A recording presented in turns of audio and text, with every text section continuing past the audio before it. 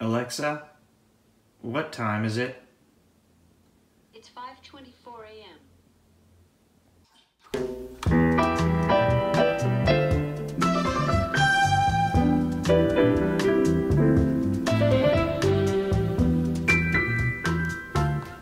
but I like to get to know. Good morning and welcome to day five. I've been doing some thinking about a few things that probably impact all of us to some degree or another, and those are our favorite topics of organization and planning.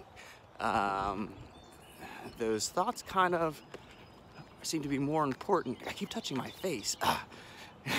seem to be a bit more important these days than in the past, but uh, it's one of those things that's constantly there as a teacher and as a student, even as a dad, um, that you just kind of constantly have to stay on top of. Um, more to follow. But before I get into that, uh, I need to finish walking my dog.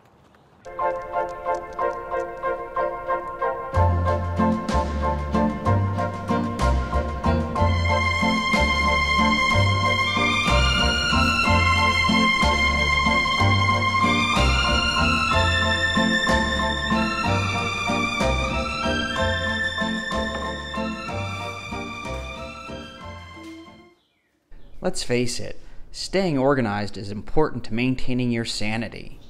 Clutter will inhibit your ability to focus and can add to unwanted stress. For me, I've developed a list of simple projects to help keep me happy and sane during these times. These include, but aren't limited to, updating my teacher website, clearing my email inbox, cleaning my bicycle, beating my dog in a staring competition, sorting through this mess, ugh, and of course, keeping active. Though no substitute for classroom time and the energy that flows from there, completing simple tasks such as these go a long way towards my overall happiness and well being. Hopefully, what works for me will work for you too. Until next time, peace.